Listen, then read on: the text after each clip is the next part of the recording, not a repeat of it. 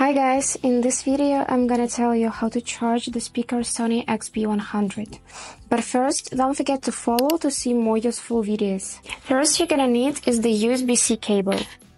One part of it you put into the charger or in the charging port of a computer like I did. And this part goes right here. You need to find this silicon cap, pull it out and connect it with the cable.